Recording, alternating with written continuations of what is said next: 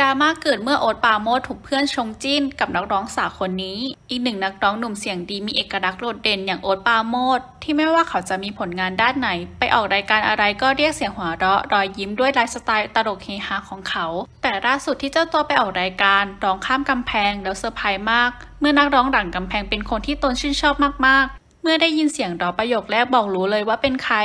แถมบอกว่าฟังเพลงน้องคนนี้วันละ 300 รอบอีกด้วย ซึ่งนักร้องคนนี้ก็คืออาอาย เมื่อกำแพงเปิดออกมาหนุ่มโอ๊ตเขินหนักมาก แทบไม่กล้ามองหน้าเลยทีเดียว ในขณะที่ทางด้านพีเคปิยวัฒน์ถามขึ้นมาว่า วันหนึ่งถ้าหนู 18 แล้วหนูยังโสดอยู่รับไหม ถ้าแม่โอเคหนูโอเคไหม น้องก็ขำๆพร้อมบอกว่า ถ้าพี่โอ๊ตโอเคก็รับได้ค่ะ แต่สุดท้ายอาอายก็ทิ้งท้ายว่ากว่าพี่โอจะติดคุกคาบภาพผู้เยาว์ซึ่งงานนี้ดันมีกลิ่นไอดราม่าเพราะส่วนใหญ่มองว่าเหล่าดาราที่ช่วยใบชื่อในรายการนั้น พยายามจับจิ้นเขาทั้งคู่ต่างบอกว่าไม่เหมาะสมน้องเพิ่งอายุ 16 เอง เราสังเกตเวลาที่พี่โอ๊ตปลื้มไอดอลคนไหน เขาวางตัวดีมากนะ เท่าที่เห็นแบบเหมือนรู้ว่าอะไรไม่ควรเล่นคิดถึงแฟนคลับน้องด้วย แต่รายการมันทำเรื่องแบบนี้ให้ดูปกติจริง ๆ ชงแต่อะไรแบบนี้ โดยเฉพาะคนที่เรียกตัวเองว่ารุ่นใหญ่ จริงๆ เราไม่ชอบให้รายการชงเด็กกับผู้ใหญ่ในเชิงรักใคร่เลย เพราะตัวน้องเองอายุแค่สิบกว่า ซึ่งมันเข้าข่ายพีโดด้วยซ้ำรู้ไหมว่าปัญหาของพีโดในสังคมมันเยอะ